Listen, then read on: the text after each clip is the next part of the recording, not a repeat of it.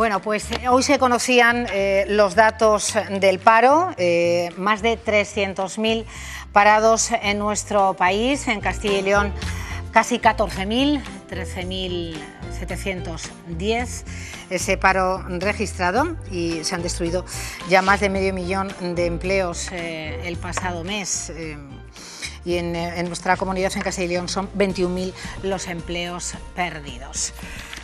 Vamos a hablar de economía con otro colaborador que habla muy clarito. Nos encanta, en, vamos a ver, tener a colaboradores, a expertos eh, que hablen diciendo y llamando al pan pan y al vino vino. Y José Carlos Díez, muy buenas tardes, es uno de ellos. Gracias, José Carlos, bienvenido de nuevo. Acabamos de escuchar a Fernando Rey y eh, hablar sobre política, sobre cuestiones jurídicas, sobre esa prórroga del estado de alarma y ahora queremos escucharte a ti hablar sobre mm, no solamente de esos datos del paro, aunque les conocíamos de abril, eh, y menos mal que no se incluyen los ERTES, ¿eh? menos mal, pero sí que nos gustaría seguir avanzando contigo en, en, tu visión de la economía en Castilla y León y en, y en, España. Bueno, el dato es verdad que, que, es un dato malo, evidentemente, sobre todo el de paro registrado. En, en, el caso de las afiliaciones a la seguridad social, la mayor destrucción se produjo en, en la segunda quincena de marzo y entre donde se destruyeron 900.000 empleos. Prácticamente en el mes de abril ha habido destrucción, es un mal dato, pero se han destruido 100.000 empleos. ¿no? Por lo tanto, la sangría fuerte, fuerte fue al principio del confinamiento y luego lo que sí vemos ya con los datos es un destrozo grande en el sector de la construcción, ha caído el empleo un 11% en dos meses, una barbaridad.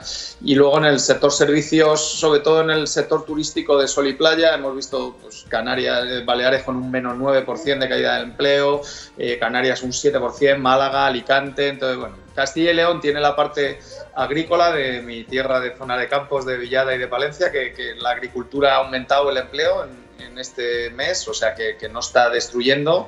Y el sector de la industria, que tiene más peso en nuestra comunidad, pues ha caído la mitad que el, que el conjunto de la economía. Por lo tanto, Castilla y León ha sido de las comunidades donde menos ha destruido empleo, aún así un 3% de caída del empleo es muy fuerte. Ya lo dijiste, ¿eh? lo avanzaste, que Castilla y León eh, iba a sufrir, lógicamente, como todo el país, pero algo menos que, que la mayoría de las comunidades. Bueno, es que el, el, drama es el sol y playa, sobre todo Baleares y la costa del Mediterráneo, que empezaba su temporada en Semana Santa y que se ha parado. Y, uno de cada tres empleos destruidos en los dos últimos meses ha sido en esas provincias eh, turísticas y costeras y en las islas. ¿no? Por lo tanto, evidentemente que allí pues, va a ser muy duro. Aquí, pues, cuando se habla el, desconfinamiento y nos dejen viajar a los de Madrid, pues yo estoy deseando ir a mi tierra ir allí a gastar, con seguridad, por supuesto, pero yo creo que el turismo nacional sufrirá, pero menos pero menos el de interior. Efectivamente, también hablábamos eh, ayer con la directora general de Turismo y coincidía plenamente con lo que, con lo que nos cuentas. Eh, ¿Hay ya un plan, José Carlos? Bueno, están con el lío del, del, plan de la desescalada, ¿no? Y no tienen plan para la desescalada como para hablar de plan de economía. El, sábado presentaron el programa de estabilidad Bruselas. Yo creo que perdieron una gran oportunidad, no hay ninguna visión de largo plazo, no hay ninguna medida adicional y bueno, básicamente se dedican a decir las medidas que ya han tomado, que recordemos se tomaron para una crisis muy cortita. El gobierno tanto el de la Comunidad Autónoma de Castilla y León como el Gobierno de Madrid nos dijeron que esto iba a ser una crisis muy corta, que iba a durar muy poco. Bueno, ahora ya nos están diciendo que esto es una crisis para dos años y yo creo que no hay plan ni en Madrid ni en Valladolid, ni, ni en la Junta ni en el Ayuntamiento. Yo creo que ninguna administración tiene un plan claro para la parte económica. Es verdad que, que es una crisis muy dura y va a haber que tomar decisiones duras porque ¿no? yo creo que hay que mandar un mensaje ya que los ciudadanos están esperando, que es que no hay dinero para todo. O sea, esto, eh, ya nos vamos, o sea, dije hace una semana que estábamos en niveles de deuda pública desde hace 100 años, de 1909. Bueno, yo creo que estoy echando cálculos, nos vamos a Fernando VII, ¿no? Los niveles de deuda pública que vamos a alcanzar, ¿no? Entonces, claro, todos los que hemos estudiado la historia de las crisis de deuda en Villalón, en Medina del Campo, en, el capitalismo se inventó en Castilla y los judíos castellanos y evidentemente que cuando hay una crisis de deuda pues hay que hacer recortes y hay que subir los impuestos. Yo creo que da igual el que esté en el gobierno, las medidas se van a tener que tomar. Sí o sí. Eh, hablamos de dos años, ¿tú entiendes que de más?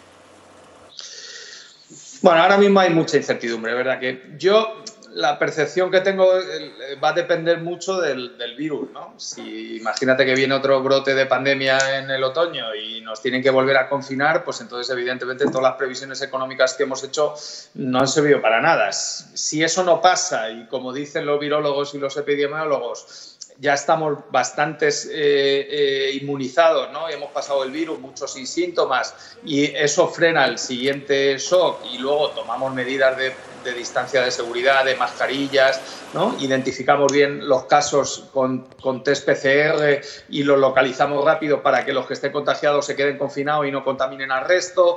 Los que tenemos síntomas no vamos a trabajar ni vamos a las tiendas y nos autoimponemos no salir, que es una disciplina que hay que decir desde los medios, ¿no? Siempre debería ser así, pero, pero si estás con riesgo de gripe o de coronavirus, no vayas a trabajar, ¿no? Claro, o sea, responsabilidad. Estás apelando a la responsabilidad pura y dura, claro.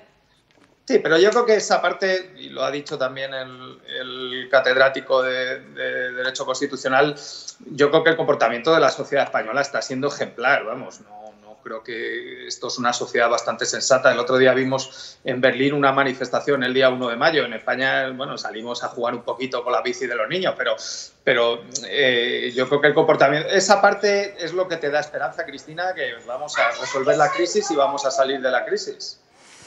Bueno, pues me voy a quedar con eso, José Carlos. que vamos a ¿Europa cómo se está comportando? Bueno, en la parte. ¿Buscando el cariño o no buscamos el cariño? No sabemos. Bueno, al BCE hay que quererle mucho. Si estuviéramos fuera de Europa, pues ahora ya no habría dinero para pagar las pensiones, no podríamos pagar ERTES, o sea que esa parte está funcionando.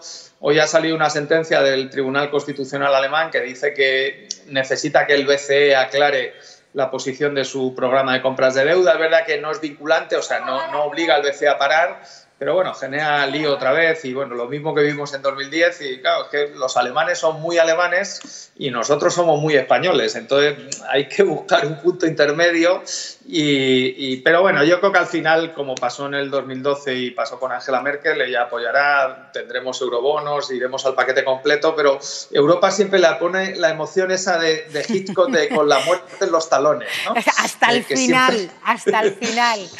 Pero la película de Hitchcock siempre acaban bien. ¿eh? Hay que confiar en el final feliz. Bueno, pues en eso confiamos y en verte la semana próxima. Un fuerte abrazo, José Carlos. Cuídate y a ver si te vemos pronto eh, por la tierra en cuanto se pueda. Gracias. En cuanto pueda voy a saludaros. Gracias. Un fuerte abrazo, José Carlos.